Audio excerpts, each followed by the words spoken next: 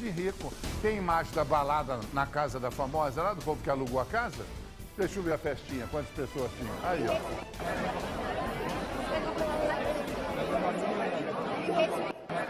700 pessoas nessa festa que deu polícia e a polícia teve acabar, que acabar com a festa.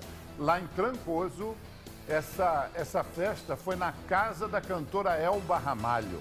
Elba Ramalho é uma cantora muito famosa e, e, nessa época de verão, fim de ano, ela aluga a mansão dela, ela tem uma casona lá, uma mega casa, ela aluga para o povo se reunir, passar as férias povo que alugou, que é um povo de São Paulo, fez uma mega festa, 700 pessoas lá. A cantora não estava na festa. A polícia baixou e acabou com a festa, tá bom?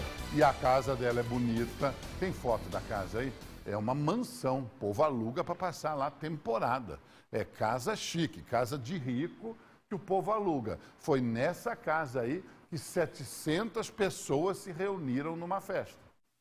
Aí eu falo para você, o rico congestiona o aeroporto de Porto Seguro com os jatinhos, o youtuber metido a besta do cabelo colorido, fica em casa, fica em casa, fica em casa, vai jogar bola.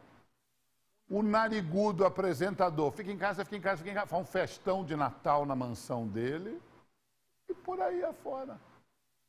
Esse povo, essas personalidades, esses, esses milionários, não estão nem aí para a Covid são irresponsáveis e não estão nem aí para você que fica dando moral para eles, tá bom? Bando. Tudo hipócrita. Notícia